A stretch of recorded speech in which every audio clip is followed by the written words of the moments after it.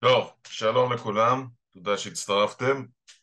אה, ההרצאה הזאת אה, נועדה למלות אה, איזשהו ואקום שנוצר בתקופה האחרונה, אני בטוח שלא יצא לכם בחודש וחצי האחרון לשמוע פרשנים לענייני ביטחון. הטלוויזיה והרדיו מתעלמים מהם משום מה. אני אומר את זה כמובן בציניות מכיוון שמשדרים את זה פחות או יותר 24-7 אין לי שום יומרה להיכנס למשבצת הזאת שתנסה לפרש את מה שאנחנו חווים כרגע. אה, אני אנסה להסתכל אה, במבט על על האתגרים הביטחוניים של המדינה מהקמתה ועד ימינו, כולל כמובן התייחסות אה, למה שקורה כרגע בצורה מינורית, מכיוון שעוד מוקדם, אני חושב עדיין להבין מה אנחנו חווים וקצת להסתכל אולי פני עתיד. אבל ההרצאה עצמה אה, תהיה יותר מבט על. ההרצאה עצמה תהיה מחולקת אה, לשני חלקים. חלק ראשון יעסוק בקצת מונחי יסוד מעולם המלחמה, מכיוון שאי אפשר לגשת בעצם לעסוק באתגרים הביטחוניים בלי, בלי להבין את ההיבטים התיאורטיים שלאורם בעצם ההרצאה ניתנת. ובסופו של דבר דרכם אנחנו ננסה להבין את האתגרים הביטחוניים שהיו לאורך כל השנים אה, עד ימינו.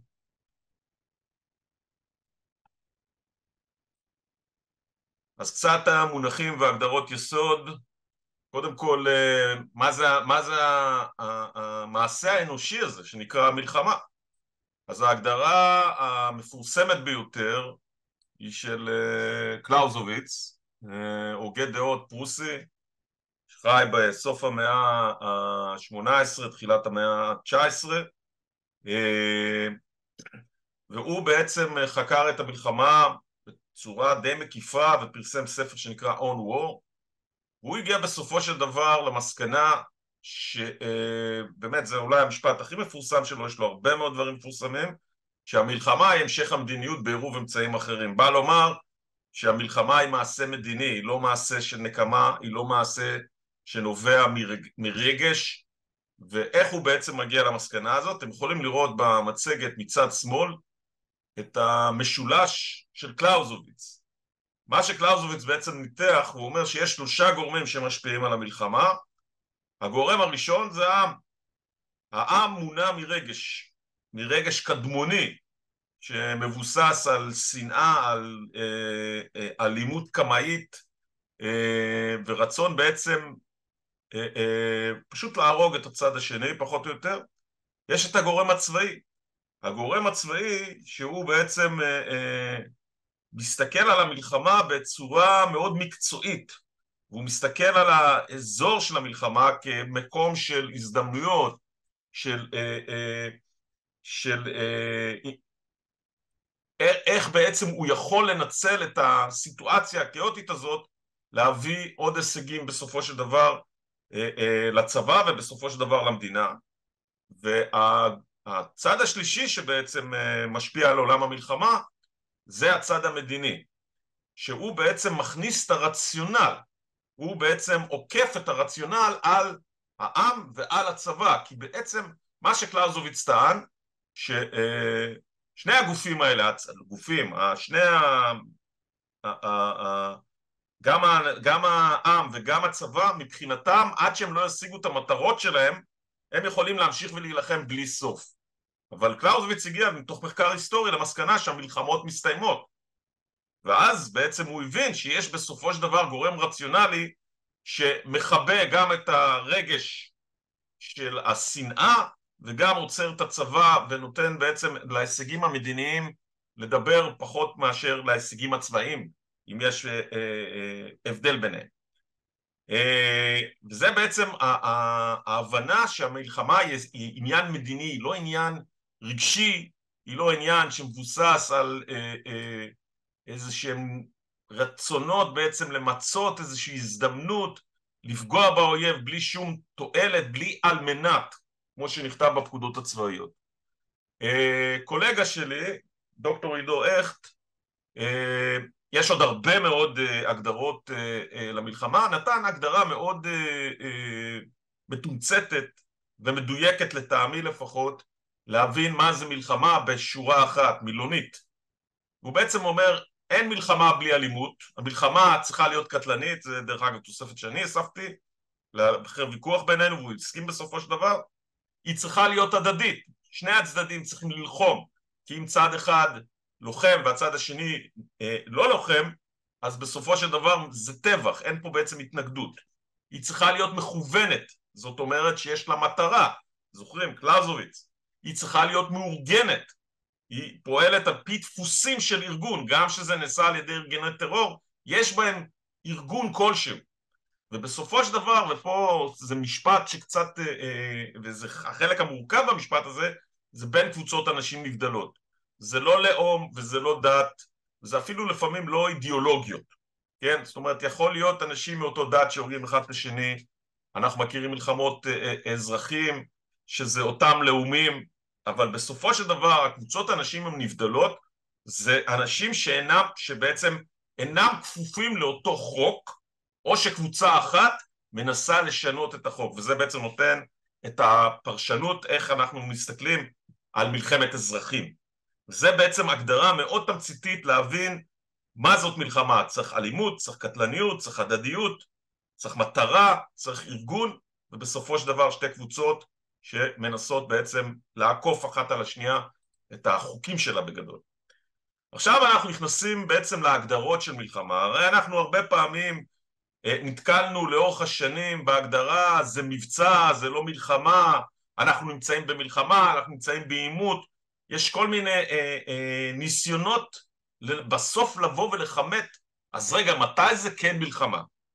אז תראו, יש פה בעצם איזשהו גרף שאמור לסדר את זה. קודם כל תסתכלו על הקו האדום, uh, הקו האדום הוא בעצם בא לסמן את הנקודה שבה מתחילה המלחמה. שנייה רגע אני פותח חלונית, סליחה לא אמרתי בתחילת דבריי, מבחינת uh, שאלות מי שרוצה פשוט uh, uh, uh, לדבר, לפנות אליי ואני פשוט יענה.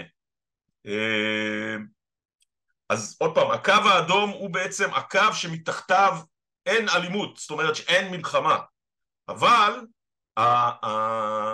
גם כשאנחנו מדברים על לא אלימות, אנחנו מדברים בעצם על שני סוגי מצבי שלום. וכשאני מדבר על שלום, אני לא מדבר על שלום שהוא הסכם, שהוא ברית שלום. אני מדבר על מצב של אי לוחמה, בסדר? וכדי להבין מתי אנחנו נמצאים בשלום יציב ומתי אנחנו נמצאים בשלום לא יציב, אנחנו צריכים לבדוק את זה לאור שני פרמטרים. כאשר בינינו לבין מדינה אחרת אין ניגוד אינטרסים כלשהו, כן, ואין איום בין שני הצדדים, אנחנו נמצאים בשלום יציב. אם אחד משני הגורמים האלה לא מתקיים, זאת אומרת יש ניגוד אינטרסים או יש איום, אנחנו נמצאים בשלום לא יציב. אבל עדיין, שוב, אנחנו נמצאים במצב של לפני שפרצה המלחמה, בסדר? עכשיו אפשר לקחת את זה לצורך העניין ניקח לדוגמה את, ה, את השנים מ-1973 ועד 2011, ש, 12, אה, אה, שפרצה מלחמת האזרחים הסורית ומוטטה את צבא הסורי. אז אנחנו היינו בשלום לא יציב עם סוריה, כן?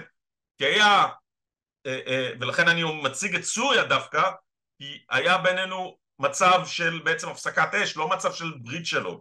היה ניגוד אינטרסים כמובן, והיה איום. אז היינו במצב של שלום אה, אה, לא יציב. אם מצרים לצורך העניין או ירדן, אז אנחנו יכולים להגיד שאנחנו נמצאים גם בשלום לא יציב.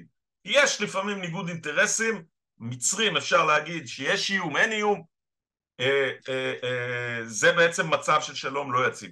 אבל לדוגמה במדינות אירופה שאתם חוצים בטיולים שלכם באירופה גבול, אתם אה, אולי הבנתם שעברתם את הגבול רק כי הטלפון עבר פשוט לספק של המדינה השנייה או יש איזה שלט קטן. זה שלום יציב, אין ניגודי אינטרסים ואין איום. מפה אנחנו הולכים לעולמות של המלחמה. אז יש את השלב התחתון ביותר, אנחנו קוראים לזה היום, זה ביטוי מודרני של העשר שנים האחרונות, המערכה שבין המערכות, המב"ם, בעולם לדוגמה זה נקרא המלחמה הקרה, ויש לזה עוד כל מיני אה, שמות, אבל בעצם זה מלחמה שמתנהלת מתחת לרדאר. זאת אומרת, אנחנו פועלים כנגד האויבים שלנו, אבל אנחנו לא לוקחים אחריות. כן, אנחנו כל פעם שומעים שהסורים הודיעו שמערכות ההגנה האווירית שלהם הופעלו כנגד מטוסים, לא ברור לכאורה איזה מטוסים תקפו בסוריה, כן? אבל אנחנו לא לוקחים אחריות, אנחנו לא מדווחים מה, על מה הייתה התקיפה, מה התוצאות, זה בעצם מלחמה קרה שמתנהל, זה לא חייב להיות רק תקיפות אה, אה, באוויר, המלחמה הקרה זה גם חיסולי אה, סוכנים חשאיים, זה עוד אה, אה, בעצם הפעלת פרוקסי למלחמות ועוד דברים מהסוג הזה. מפה אנחנו כבר עולים למקום שהעימות הופך להיות גלוי, אבל הוא מוגבל. ופה בעצם איך אנחנו מודדים, איפה אנחנו נמצאים על הסקאלה. אנחנו מודדים את זה, שוב, לפי שלושה פרמטרים. הפרמטר הראשון שאולי הכי חשוב, מה מוחלטות היעד? זאת אומרת, מה צד אחד רוצה לה, לה, להשיג? אם לצורך העניין סינואר במצב הספציפי הזה רצה לשחרר אסירים זה יעד אחד ואם הוא רוצה להשמיד מדינת ישראל זה יעד שני זה יש פער אדיר בין שניהם וזה גם מחייב זאת אומרת הקצאת משאבים הרבה יותר גדולה ככל שמוחלטות היעד אה, גדולה יותר וזה בעצם הפרמטר השני. כמה משאבים אתה בעצם אה, אה, משקיע במלחמה הזאת? והדבר השלישי זה רצף האירועים. עימות מוגבל, איזה סוג של אינתיפאדה. אז פה יש איזה פיגוע, שלושה ימים אחרי זה יש איזה פיגוע, פה איזה ניסיון דקירה. הרצף הוא, הוא, הוא, הוא יכול להיות בימים אפילו בשבועות, בסדר? שאנחנו הולכים לעימות, למלחמה מוגבלת כמו שאנחנו נמצאים בה דרך אגב היום כן? סליחה, אנחנו היום על הגבול של מלחמה כוללת הרצף של האירועים הוא הרבה יותר דרמטי, זאת אומרת זה קורה כל הזמן ההבדל בין מלחמה כוללת למלחמה מוגבלת זה בעיקר, עוד פעם, מוחלטות היעד והיקף המשאבים. ופה אנחנו בעצם עולים למלחמה כוללת, שזה, אה, אה, אתה בעצם רותם את, כמעט את כל המשאבים של המדינה לצורך, אה, אה, לצורך המלחמה, זאת אומרת גיוס כללי, אתה לא מתחשב במצב הכלכלי לכאורה, אתה אה, אה, משתמש בכל העוצמה הצבאית שלך, מוחלטות היעד היא גדולה, וזה בעצם פחות או יותר המקום שאנחנו נמצאים בו כרגע, וההבדל בין מלחמה כוללת למלחמה מוחלטת זה שני דברים. אחד, במלחמה מוחלטת הצבא בעצם הופך להיות האחראי על המדינה, זאת אומרת כל המדינה רתומה מרגע זה לצרכים הצבאיים. בגרמניה בסוף מלחמת העולם השנייה יש רעב. למה?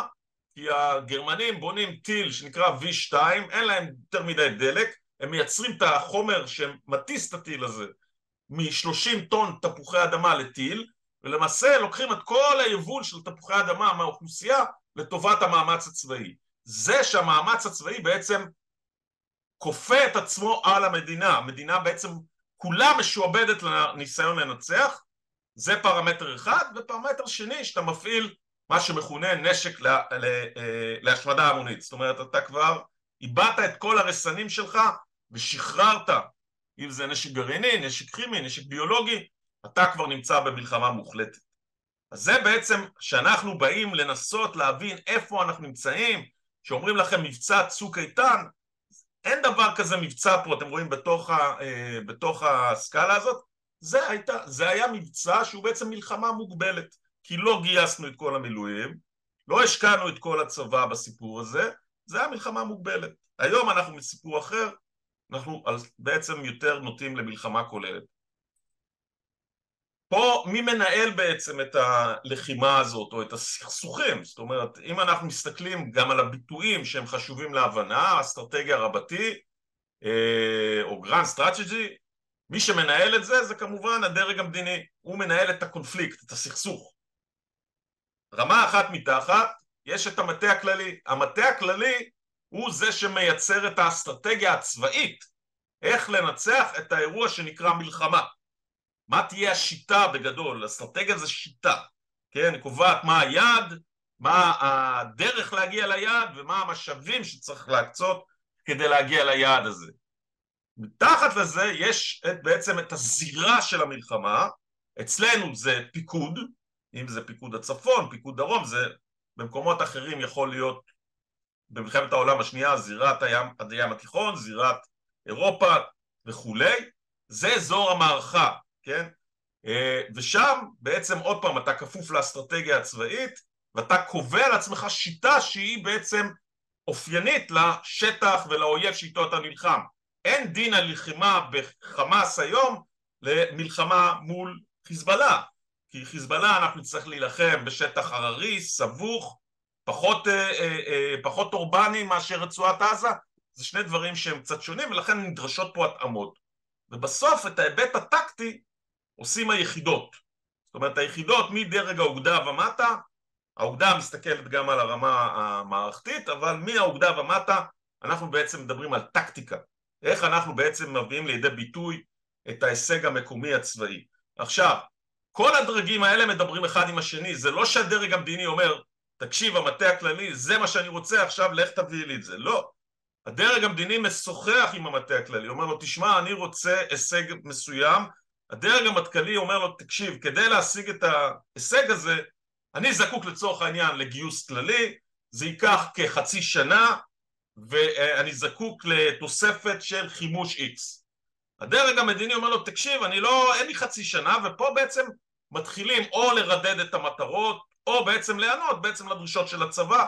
וכך קורה גם המטה הכללי עושה את זה עם הדרג המערכתי והדרג המערכתי יש פה שיח בין מדרגי שאמור בעצם לייצר שלמות בשיטה שבה הדברים עובדים מול הצד השני ודרך אגב בהיסטוריה השיח הזה שהוא לא מדויק זה אחד הגורמים היותר אה, אה, נפוצים בהיבטים של צבאות שנכשלו. עכשיו, כשאנחנו מדברים על אסטרטגיה אז יש בגדול ארבע שיטות. אנחנו בישראל, הציבור, אנחנו לכאורה מכירים רק שיטה אחת, הכרעה. כשאנחנו נלחמים, מבחינתנו מלחמה, אנחנו מכירים הכרעה. לא. בעולם הצבאי אתה, יש לך ארבע שיטות שבהן אתה פועל, עוד פעם, בגלל שיקולים מדיניים. כשאתה מחליט שאתה לא מכריע את שלטון חמאס בצוק איתן ועמוד ענן ועופרת יצוקה, אתה לצורך העניין רוצה לייצר או הרתעה או מניעה. בצוק איתן הלכת להרוס את המנהרות, הלכת בעצם לפעול כדי אה, להשמיד את האלמנט ההתקפי של חמאס. אם מחר בבוקר נתקוף את חיזבאללה, אז אותו דבר, אנחנו מונעים בעצם מתקפת טילים מקדימה של חיזבאללה עלינו. זה מה שנקרא בשפה הצבאית התקפת נגד מקדימה. אתה פועל, מה שעשינו בששת הימים דרך אגב. יצאנו בעצם למניעה ובסוף זה יתגלגל להכרעה. זאת אומרת, כמובן זה יכול להיות שני הדברים באותו מקום. הרתעה, צוק איתן, מעבר למניעה, גם ייצרנו כמובן הרתעה בסופו של דבר. והדבר האחרון זה עקיפה, זה בדרך כלל בעימותים היותר נמוכים, אתם יכולים לראות פה תמונה מהאינתיפאדה הראשונה, אנחנו בעצם מנסים לעקוף את הרצון שלנו בצורה פחות אלימה על היריב שלנו. אלו בעצם האסטרטגיות. כשאנחנו מדברים על השגת ניצחון, אנחנו מחפשים איזה מנגנון הבסה אנחנו בעצם מסתכלים על היריב שלנו.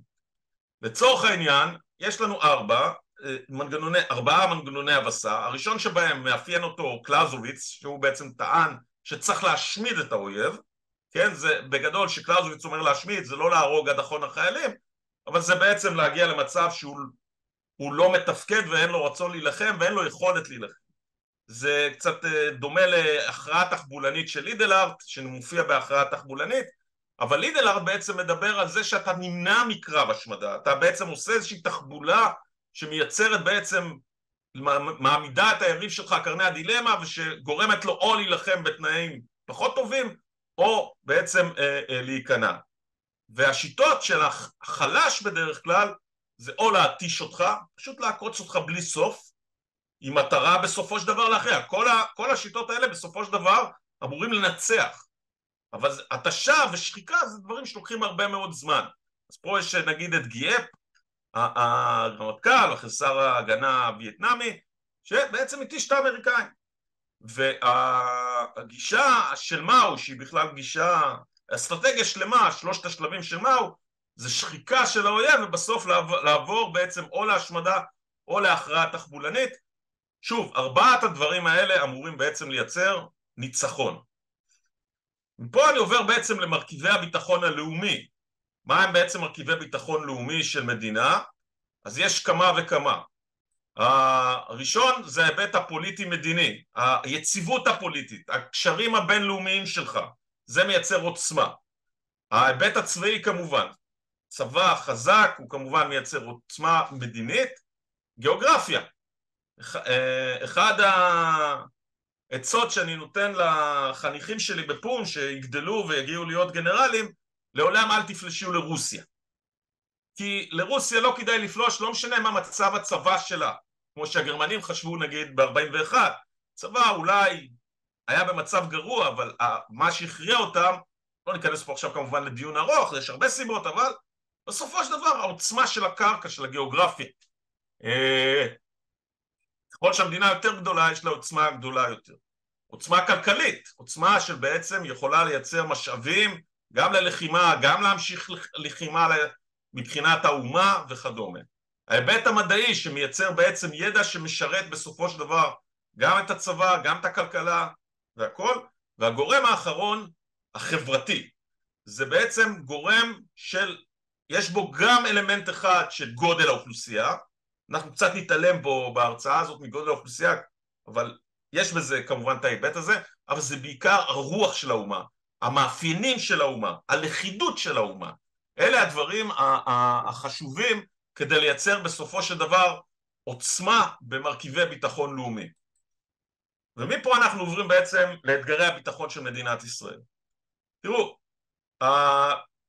בן גוריון לעולם לא הודה בכך, וכמובן אף אחד לא ציפה שהוא יודה, אבל בעצם תפיסת הביטחון של ישראל מתבססת על קיר הברזל של ז'בוטינסקי, מסמך מ-1923, שבעצם אומר אין סיכוי לשלום, אלא אם כן בסופו של דבר הערבים יבינו שיש פה קיר ברזל, אבל בגדול אין סיכוי לשלום לערבים, או שאתה נלחם ומציב קיר ברזל, או שתסתלק מציונות, אין לך, אין לך בעצם ברירה.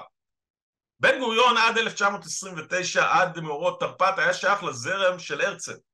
הרצל, באטלוינל, בעצם מתאר חברה אוטופית, שהיהודים יביאו קדמה לארץ אה, ישראל, והערבים בעצם בשם הקדמה יקבלו את השלטון היהודי. זו הייתה הגישה. ב-1929, כמו שעכשיו יש תהליך של התפכחות אצל חלק מהאנשים, אז גם בן גוריון ב-1929 מבחינתו התפכח, בסדר? הוא פשוט שינה את דעתו. ומרגע זה בעצם בן גוריון הופך להיות אה, אה, אה, ביטחוניסט בגישה שלו, הוא ייכנס לעולם הביטחוני ביתר שאת ב-1946, הוא עושה שני סמינרים אחד ב-1946-7 והשני ב-1953 והמסמך השני ב-1953 זה מסמך 18 הנקודות, הנקודות שבו בעצם כתובה תפיסת הביטחון הלאומי של ישראל בנקודות צריך לפרש את זה, זה לא משהו שאושר כמסמך אה, מחייב והצבא אכן פירש את זה, תכף נראה בדיוק איך אבל זה בעצם הגישה שבן גוריון פיתח אה, אה, אה, לאורך השנים מה בעצם במסמך הזה בן גוריון מונה? הוא מונה את, ה, את היתרונות של ישראל מול הערבים. הוא אומר קודם כל הקווים הפנימיים, מה זה קווים פנימיים? זה ביטוי של הוגה דעות אה, אה, שוויצרי צרפתי בשם אה, ז'ומיני. ז'ומיני בעצם מדבר על מי שפועל מבפנים החוצה, החצים הכחולים לצורך העניין, שיש לו יתרון, למה? כי לצורך העניין אה, חיזבאללה עכשיו לא יכול לשלוח איזה שלושת אלפים לוחמים לתגבר את חמאס בעזה, כי הוא פועל בקווים חיצוניים, אין ביניהם קשר. אנחנו, בתחילת הלחימה, לקחנו את אוגדה 36 שהייתה בצפון, ותוך יום וחצי היא הייתה בדרום. זה בעצם היתרון שלנו. אנחנו עשינו את הדבר הזה היטב בששת הימים. בששת הימים ניידנו כוחות בין הזירות, כל פעם הצלחנו לרכז מאמץ, וזה עבד. מתי זה לא עובד? דרך אגב, שהצד השני מאוד מתואם. והוא פועל בקווים חיצוניים.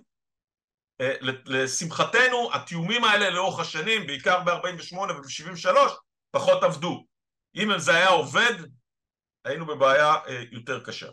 האומה המאוחדת, עוד פעם, הסעיף החברתי, בן גוריון שם את זה במקום הראשון, הוא אומר מעל הכול, האחדות של עם ישראל היא הדבר הכי חשוב בביטחון הלאומי שלנו, זה כתוב במסמך 18 נקודות. הוא מדבר על היתרון הטכנולוגי שיש לנו, ודיבר על רוח הלחימה של הלוחמים שלנו כיתרונות של ישראל. מה החסרונות? הוא אומר לעולם לא נצליח בעצם להדביק את היתרון הכמותי לערבים מבחינת אוכלוסייה, שזה פוטנציאל כמובן לצבאות הרבה יותר גדולים. שוב, מה שדיברתי, קווים חיצוניים בפעולה ערבית מתואמת, צבא ערבי סדיר קבוע, זה איום שבעצם מחייב אותנו להיות בכוננות 24-7, שהצבא הזה בעצם יכול, בניגוד אלינו, שאנחנו צריכים לגייס מילואים, לעבור להתקפה יחסית מהר. כמובן שזה לא כזה מדויק, מכיוון שהצבאות הערביים גם יש להם קצת גרעין של מילואים, ובדרך כלל הם גם לא חנו על הגבול. כשהם חנו על הגבול, אנחנו בדרך כלל, שידענו, היינו בכוננות, היו גם פעמים לצערי שלא ידענו. חיסרון נוסף זה מהירות גיוס המילואים, זאת אומרת אה, מלחמת יום הכיפורים כהפתעה אה, אה, שבה בעצם מדינת ישראל הופתעה, הכוחות הראשונים הכי מהירים שהגיעו בעצם לחזית בצפון הגיעו פחות או יותר אחרי 12 שעות מפרוץ הלחימה. וגם אז הם הגיעו זרזיפים זה עדיין לא היה אה, אה, משהו משמעותי זה רק נצבר אחרי כמעט יום וחצי ואז אפשר היה בעצם אה, אה, אה, אה, לעבור למתקפת נגד אבל זה אומר שאתה בעצם איבדת הרבה מאוד זמן שאתה בחיסרון מול האויב שלך אין לנו עומק, אנחנו מדינה מאוד קטנה, בסדר? ולכן זה אומר שאפשר, ברגע שאין לך עומק, גם אתה חשוף, גם המרכזי האוכלוסייה שלך, גם המרכזים התעשייתיים והכלכליים שלך, ובעיקר היכולת בעצם לוותר אותך, אה, ואין לנו בעצם אה, נתיב יבשתי, נגיד לציר אספקה לוגיסטי, אה, כמו שקוראים בעולם הטקטי-אופרטיבי, אנחנו, הקשר היחידי שלנו לעולם הוא דרך הים, בסדר? עכשיו זה השתנה קצת, ברגע שפתחו את השמיים מירדן, ואפשר לעבור מול סעודיה, עכשיו נדמה לי שהם עוד פעם סגרו את זה, אבל עדיין אנחנו לא יכולים לנסוע משם לסין. אה, אנחנו עדיין נחסם איפשהו. אז הנתיב הימי הוא הקשר היחידי לעולם, בטח ב-1953, שהדברים האלה נכתבו.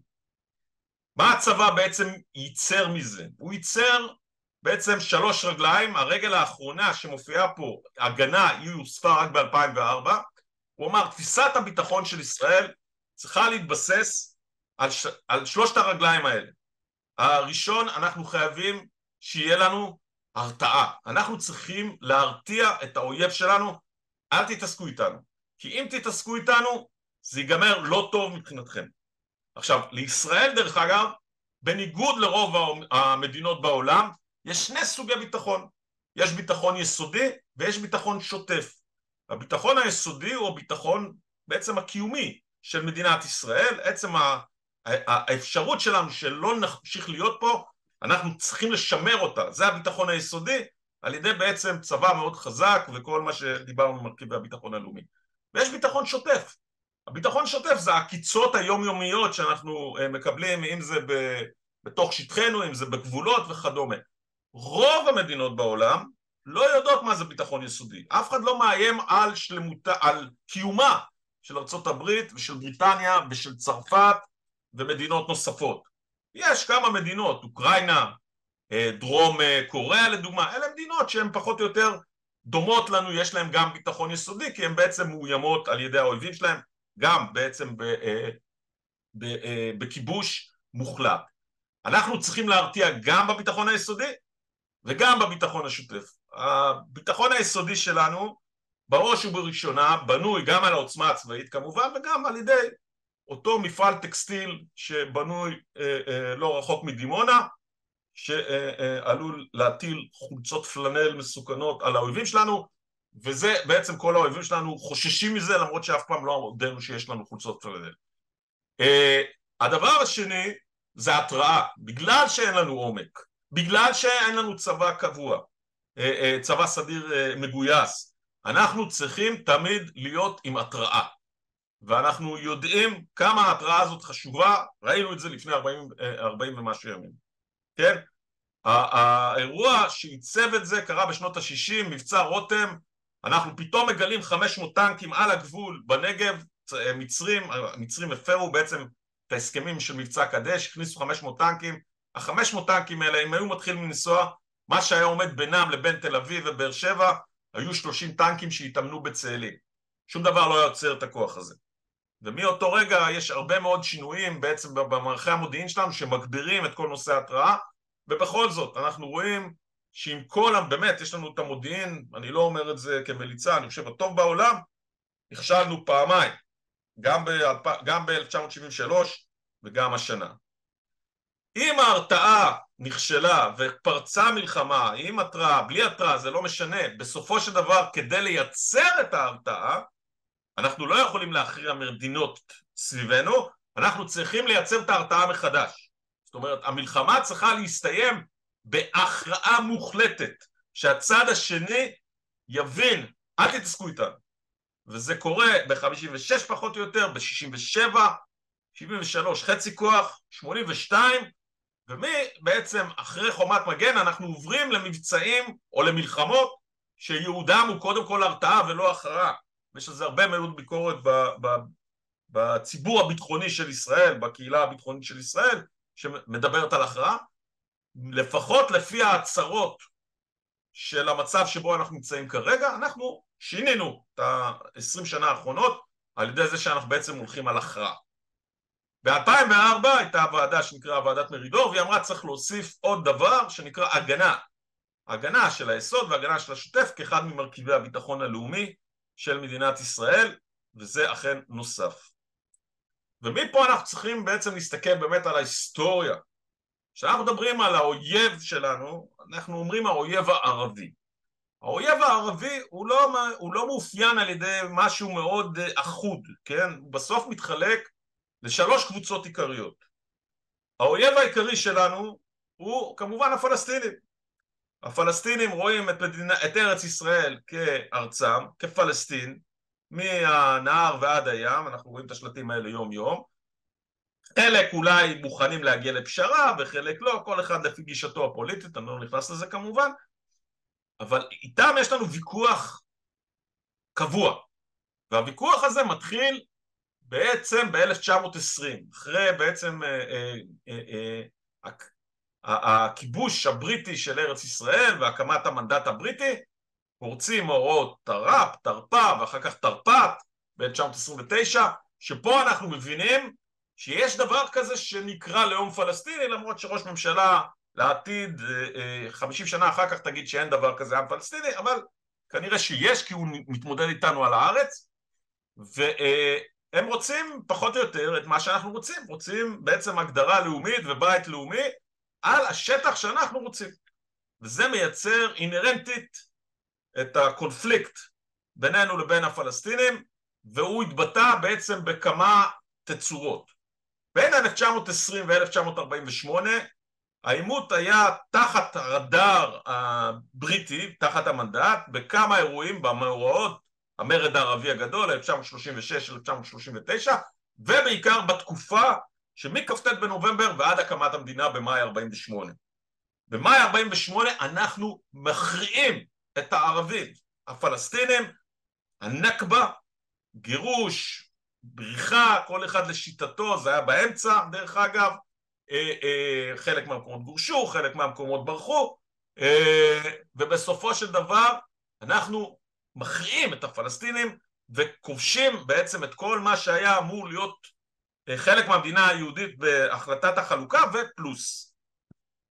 אבל במלחמה הזאת נכנס בעצם אויב גורם חדש, שהוא מדינות ערב. ופה באמת יש שאלה אמיתית שבקורסים שאני מעביר אני מצטט את סרג'יו קונסנזה מגבעת אה, חלפון, איזה אינטרס יש למצרים לבוא לפה בחום הזה? איזה אינטרס היה למצרים לפלוש לפה? איזה אינטרס היה לירדנים לפלוש לפה? כל אחד היה לו אינטרס צר מאוד, פלסטינים היו איפשהו במקום אה, בשורות האחרונות של הרשימה הזאת, זה היו אינטרסים פנימיים ששירתו אותם, אבל זה יצר בסופו של דבר קונפליקט בינינו לבין המדינות הערביות. אנחנו גם תרמנו לשימור קונפליקט מסיבותינו, מסיבות טובות, כן? כי אנחנו חששנו, ובצדק, שהמשטרים לא יציבים. הסורים החליפו נדמה לי איזה 19, 19 אה, אה, ממשלות, לא, אני מגזים, אבל הרבה מאוד אה, אה, אה, אה נשיאים בין 49 ל-67, בירדן נרצח עבדאללה, פרוק במצרים הורד מכיסאו, בעיראק 58, זאת אומרת עם מי אתה חותם הסכם שלום שיומיים אחרי זה יכול להיות שהוא יתבטל, ראינו את זה ב-2012 נדמה לי, מורסי, שפתאום התחלנו לחשוש שההסכם שלום שלנו הוא על קרעי תרנגולת ולכן בן גוריון לא היה לו רצון לרוץ בעיניים עצומות להסכם שלום אחרי 49 גם לא היה כל כך פרטנרים. והאירוע הזה הולך ומסלים דרך 56, 67 קורה אירוע משמעותי הכרעה והשפלה של האומות הערביות. אה, זה מוציא מהאירוע הזה את ירדן, ירדן מאותו רגע מחליטה שהיא לא עושה את הטעות ב-67, היא תתערב קצת ביום כיפור אבל לא מעבר לזה ומאותו רגע יש בינינו איזה שהם יחסים מתחת לרדאר. למצרים ולסוריה יש עדיין אינטרסים אה, אבל תכלס אחרי 1973 גם האירוע הזה יורד. זאת אומרת אנחנו עדיין נלחמים עם הסורים ב-1982 בלבנון אבל. החזית ברמת הגולן נשארת ללא לחימה. העיראקים מסיבותיהם שלא קשורות אלינו בגדול, כן? יורים עלינו אה, טילים ב-1990, אלה שתי אפיזודות שאינן בעצם מעידות על סיום המלחמות מול מדינות ערב מ-1973. ב-1965 הארגון הזה קרם עור וגידים כמה שנים לפני כן, אבל הם מציינים בעצם את הקמתו בפעולה הטרור הראשונה שלהם ב-1995 ומ-1995 ועד הסכמי אוסלו אנחנו בעצם האויב העיקרי שלנו של הפלסטינים זה אש"ף. אש"ף חותם איתנו הסכם, את הסכם אוסלו, לכאורה הוא בעצם מוותר על המאמץ הצבאי ומוכן להתפשר על uh, גבולות uh, uh, חלוקה של ארץ ישראל. בפועל אנחנו רואים שאחר כך אנחנו מתנגשים איתו שוב ושוב, בעיקר כמובן באינתיפאדה השנייה, עד בעצם מותו של ערפאת, ושם בעצם אבו מאזן לפחות אומר את ההתנגדות המזוינת, הוא זונח כרגע מסיבות פרקטיות, לא בטוח שמסיבות אידיאולוגיות. ומ-1987 עולה כוח חדש, נחוש יותר מאש"ף, וזה בעצם החמאס, שאיתו אנחנו מתמודדים למעשה ממש ברגעים אלה כרגע. ב-1983 קם ארגון חיזבאללה שהוא ארגון פרוקסי של המהפכה האסלאמית האיראנית, השיעית, ובעצם מ-1983 אנחנו מתמודדים עם אויב שלכאורה אין לו שום אינטרס פה, חוץ מבעצם הרצון להפוך כל המזרח התיכון לאימפריה מוסלמית שיעית, אה, האדמה הזאת היא נקראת אדמת האסלאם, אה, ובסופו של דבר זה מה שמניע אותם לכאורה לא להסכים עם ישראל, אני מזכיר שעד ההפיכה של השח אנחנו היינו ביחסים אה, טובים מאוד עם האיראנים, אבל זה התהפך מרגע שהאיסלאמיסטים בעצם השתנו. אז אלה בעצם האויבים שלנו, פלסטינים בשלוש תצורות, מדינות ערב ואשים וכל אחד אה, בפרק, בפרק זמן אחר. הדבר הנוסף זה בסופו של דבר תרחיש הייחוס הצבאי. עוד פעם, אנחנו כולנו מסתכלים על מלחמה בדרך כלל על תמרון או בעצם מהלך שנועד להשמיד את הצד השני, לכבוש את הצד השני. אז לא, בין 1920 או 1918, נגיד כזמן סוף הכיבוש העות'מאני, ועד 1948, הערבים פעלו בשיטה של בעיקר טרור וגרילה, שזה התש"ב.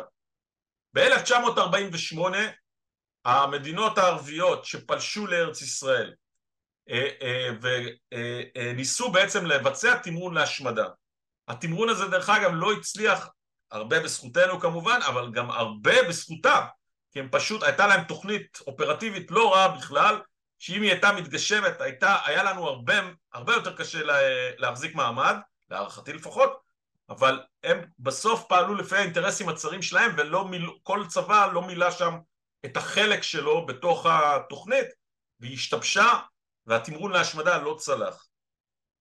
העיקרון של תמרון להשמדה נשמר עד 67 וב-67 בדברי הרב בתקופת ההמתנה על זה הם דיברו, על השמדה וב-67 אחרי שכמובן הם מובסים, אני מדבר על מדינות ערב כמובן, מובסים קשות משהו משתנה.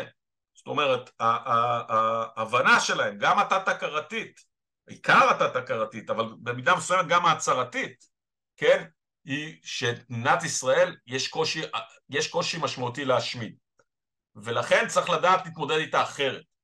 אה, גם בגלל העוצמה הצבאית הקונבנציונלית וגם כי מבינים שאותו מפעל טקסטיל אה, בדימונה הבשיל כנראה והוא אה, הופך להיות איום שצריך לקחת אותו בחשבון.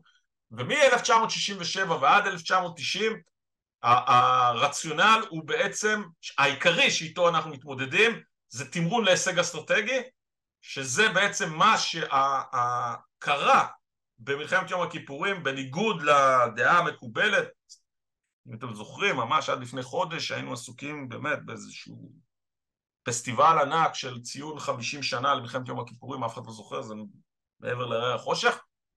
המצרים והסורים לא היו בדרך לתל אביב, התוכניות שלהם היו מוגבלות בדיוק מהסיבות שמניתי מה שקרה להם ב-67 העוצמה הקונבנציונלית, העוצמה של חיל האוויר דרך אגב והחשש בעצם מהפעלת נשק השמדה המונית התוכניות היו מצומצמות, זה היה להשיג הישג, הסורים רצו לכבוש את רמת הגולן. אה, אה, סאדאת רצה לכבוש נתח מסיני ולהניע את המשא ומתן. אלה היו היעדים של המלחמה. הסורים עד 1990 עוד מדברים על תוכניות לכיבוש הגולן אחרי שהם רואים את העוצמה הצבאית, בעיקר נשק ההייטק שהם פוגשים במלחמת המפרץ, עוד פעם, הצהרתית, יש פה שוני, אבל מ-1990 הם מדברים בעיקר על השגת איזון אסטרטגי מול ישראל, זאת אומרת הם בחשש מישראל יותר מאשר הם מדמיינים אה, אה, לתקוף את ישראל.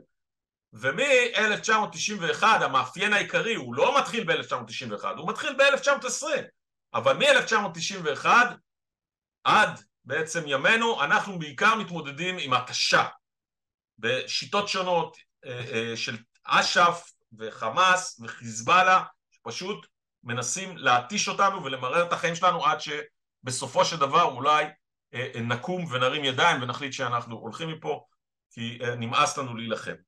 אז אלה בעצם תרחישי הייחוס הצבאי שהיו לאורך ההיסטוריה של ישראל ואלה בעצם האתגרים. עכשיו זה מייצר אתגר שונה מכיוון שאם אתם מסתכלים בעצם מ-1990 מתחילים לדבר על סוף עידן המלחמות, על זה שטבע המלחמה השתנה, שזה משפט עם כל הכבוד לא אינטליגנטי כל כך, הטבע לא השתנה, המאפיינים כל הזמן משתנים אה, אה, ואנשים בונים כוח, גם אנחנו בונים כוח בעיקר כנגד צבאות אה, או ארגוני טרור ולא מול צבאות, ואז אנחנו מקבלים סטירה ב-2006, ואז אנחנו מקבלים סטירה ב-2023. יאמר לזכות האויבים שלנו שתמיד עצרו את התהליך הזה לפני שיישמנו אותו עד, עד סופו, ובעצם אה, גרמו, אה, התעוררנו בזמן ובנינו אה, מחדש את הצבא שיוכל בעצם להיות עם עוצמה להכרעה. מפה אני הולך בעצם לבחון את, ה, את אותה טבלה של הביטחון הלאומי לאורך השנים. אז תראו, אני אסתכל עוד פעם על הפוליטי. ישראל, לפחות אני מסתכל מלחמת העצמאות, מלחמת יום הכיפורים, תמיד הייתה יציבה פוליטית. זה לא משנה מה האידיאולוגיה שלטה, אבל הייתה בה יציבות פוליטית. כמובן שהיו ויכוחים, אבל כשיצאו למלחמות היה קונסנזוס סביב היציאה למלחמה, ותמיד הייתה לנו בעלת ברית, למעט אולי מלחמת העצמאות, חצי כוח האמריקאים והצ'כים והרוסים קצת, לא משהו משמעותי, אחר כך צרפתים, אחרי זה אמברגו ואחרי זה אמריקאים. אז יש לנו את ההיבט הזה. את ההיבט הצבאי, אז גם אנחנו מסתכלים על מלחמת העצמאות כמלחמת uh, מעטים מול רבים. לא כך היא. אנחנו היינו ביתרון גם על הפלסטינים, מכיוון שהיינו הרבה יותר מאורגנים והצלחנו בעצם, נכון שמבחינת אוכלוסייה הם היו כפולים איתנו בגודל, אבל אנחנו היינו הרבה יותר מאורגנים, ייצרנו יחידות, הם בגדול ייצרו שתי כנופיות שנקראו ג'יהאד אל-מקדס, אחת באזור ראש העין של ימינו ואחת באזור ירושלים, וכל השאר זה היו ערבים מקומיים שהתמודדנו איתם. ולכן היה לנו גם מבחינה צבאית, היה, אה, אה, כמותית, היה לנו יתרון עליהם. בתחילת הפלישה, ב-1900, אה, במאי 1948, היתרון אצל, ה, אצל הצבאות הערביים, גם מבחינת הגודל, זה מתהפך תוך כדי המלחמה, מכל הבחינות כמעט. גם כמות הלוחמים וגם אה, אה, מבחינת אה, אה, אה, ציוד, אנחנו צוברים טנקים, מטוסים, אה, אה, ובעיקר, בעיקר, זה בעצם תחמושת, כיוון שהאו"ם הטיל אמברגו על המדינות שלחמו במלחמת העצמאות כנגדנו ונגדנו כמובן, גם עלינו הוטל אמברגו, הערבים לא ידעו איך להתמודד עם האמברגו הזאת, האמברגו הזה, כל כדור שהם ירו לא היה לו חלופה, וישראלים כמו ישראלים מן היקב מן הגורן פשוט גנבו מכל העולם וקנו בכל מקום בשוק השחור תחמושת והיה לנו בסוף המלחמה עוצמה צבאית מספקת כדי לנצח את כל, המלחמו, את כל הצבאות שתקפו אותנו. כך היה במבצע סיני כי גם היינו בברית עם צרפת ואנגליה ולכן בסיני היה לנו יתרון. במלחמת ששת הימים אמנם היתרון הכמותי היה בצד השני אבל היתרון האיכותי וראינו את זה בתוצאות של המלחמה היה חד משמעי בצד שלנו רואים את זה בתוצאות. מלחמת יום הכיפורים הצבאות הערבים השתפרו ולכן גם כמותית וגם איכותית הם השתפרו והביאו אותנו, אותנו למצב של חיסרון הרוח לחימה שלנו ניצחה שם. גיאוגרפיה אנחנו קבוע נמצאים במצב של חיסרון כמובן. בהיבט הכלכלי עוד פעם בצורה מאוד מפתיעה מלחמת העצמאות אנחנו גייסנו כסף מכל העולם בעיקר מה, כמובן מהיהודים בגולה וזה נתן לנו מספיק כסף כדי להתמודד עם המלחמה הזאת. נכון שאחרי זה היה אה, אה, תקופת השוק השחור כשישראל בעצם הייתה במשבר כלכלי חריף אה, למלחמת ששת הימים אנחנו מגיעים תקופת המיתון אבל יוצאים ממנה דווקא לצמיחה ולמלחמת יום הכיפורים אנחנו מגיעים עם אותה צמיחה.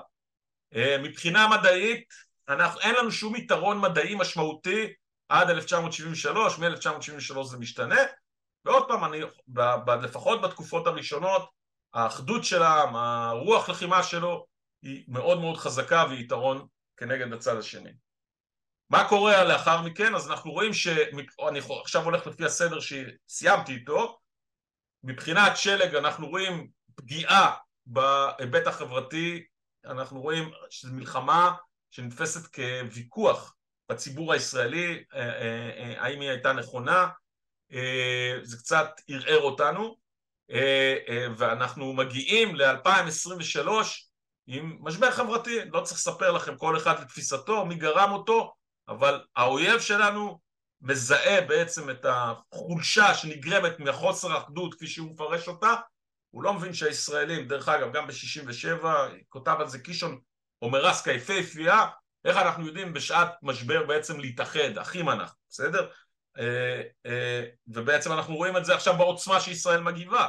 יש, אנחנו רואים עדיין את הוויכוחים, אבל זה לא משנה.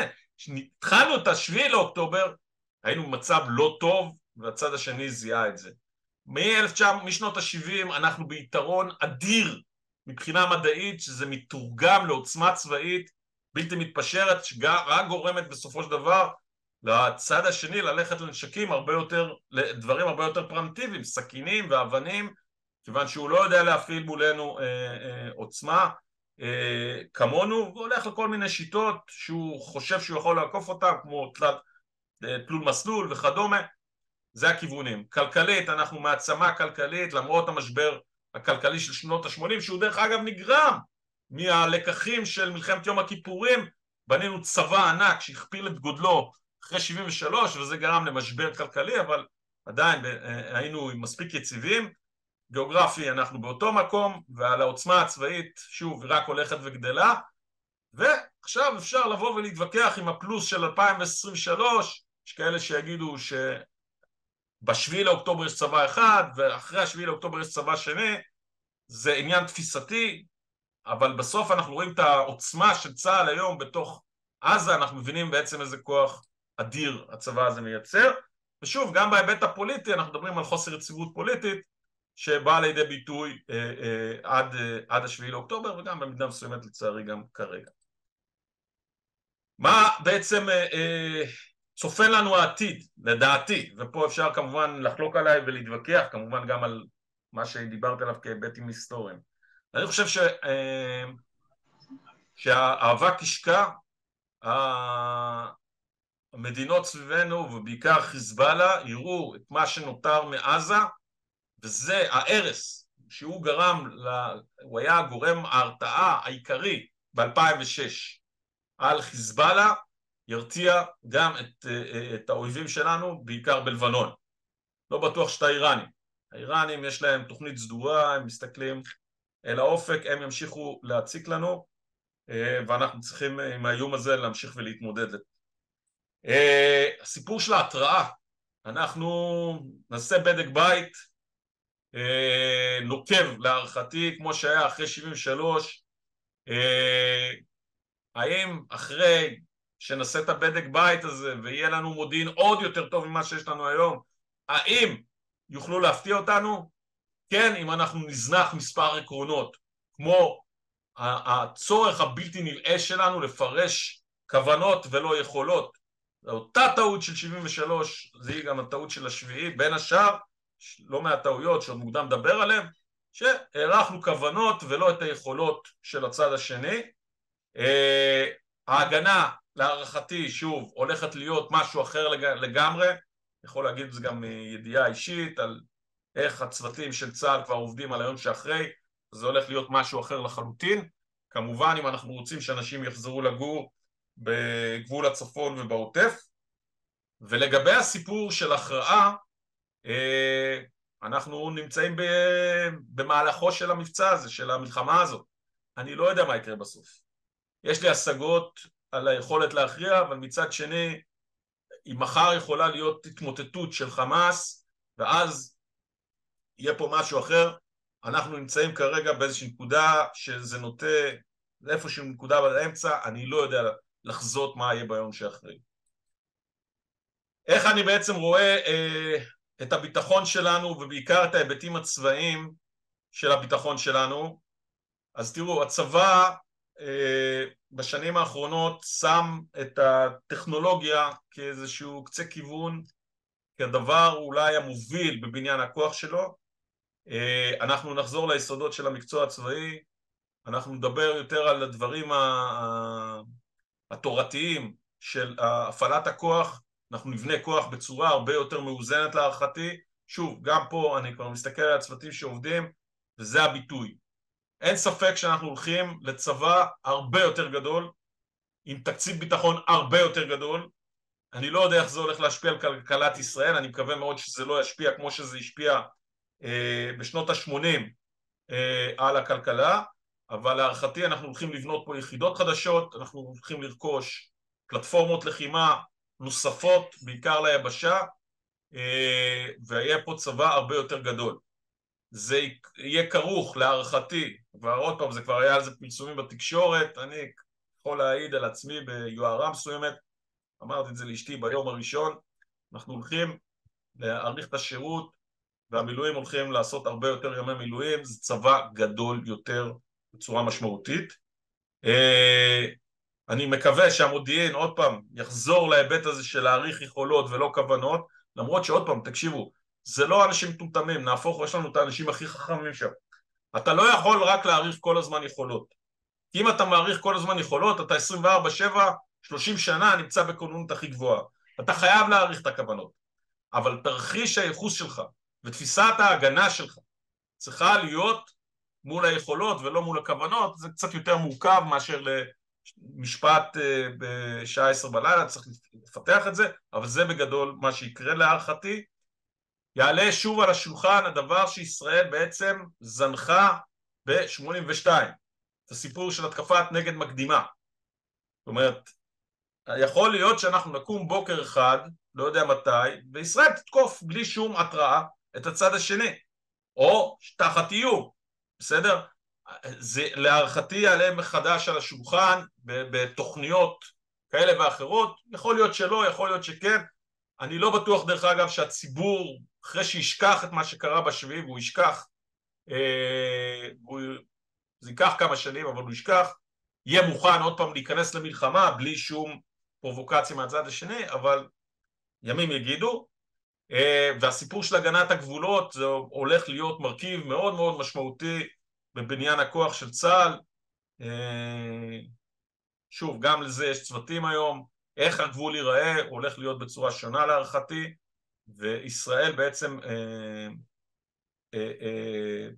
תפתח צבא הרבה יותר יעיל להערכתי בסוף המלחמה הזאת גדול ויעיל יותר. עכשיו לגבי מרכיבי הביטחון הלאומי יש שם שני היבטים שהם בלב הוויכוח. כן, זאת אומרת, אין לי ספק שאנחנו נהיה עדיין בחיסרון גיאוגרפי, הצבא יתחזק, מצב הכלכלי, אני לא יודע לאן הוא ילך, אני מקווה, יש גם לפעמים מלחמות מייצרות צמיחה, אה, אני לא יודע, אה, אני יודע להגיד די בוודאות שאנחנו עדיין נהיה עם יתרון טכנולוגי ומדעי על הצד השני, השאלה הגדולה פה זה מה יהיה בעצם המצב החברתי והפוליטי שלנו. שעוד פעם, זה עניין שקשור לביטחון לאומי, כפי שאתם רואים את זה, זה אה, חלק מהנוסחה. זהו, אני לקראת השעה נשארו ממש כמה דקות, אני אשמח לשאלות.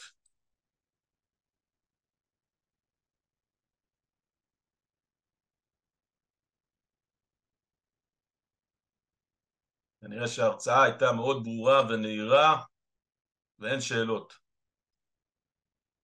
טוב, כולי תקווה שאנחנו נדע ימים שקטים יותר, ביטחון רב יותר, אה, שהאקדמיה תחזור במהרה בימינו עם חיילי המילואים אה, אה, לרחבי הקמפוס. ובאמת שאני אומר גם הציבור אפרופו ההרצאה הזאתי אני חושב שיש פה כמה דברים בסיסיים שהציבור צריך להבין ולהכיר מבחינת המונחים המקצועיים כדי להיות עם הבנה קצת יותר טובה של הסיטואציות שבתוכם אנחנו נמצאים ושוב, אני מאחל לכולנו ימים שקטים וטובים יותר. תודה לכם. תודה.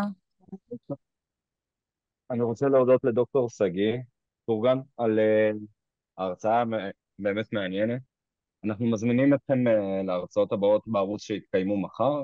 יש לנו הרצאה בשעה 11 עם דוקטור עידית פסט מהמחלקה לחינוך, ובהרצאתה היו יחסי הורים-מורים בתקופת אי-ודאות, וההרצאה נוספת בשעה תשע של דוקטור גליה פלוטקין אמרמי, שהיא אנתרופולוגית מבית ספר לחינוך, ובהרצאתה יהיה מושג הטראומה בין שיח רפואי, משפטי ופוליטי. אפשר לראות גם את לוח השידורים שלנו באתר, לילה מקסים לכולם.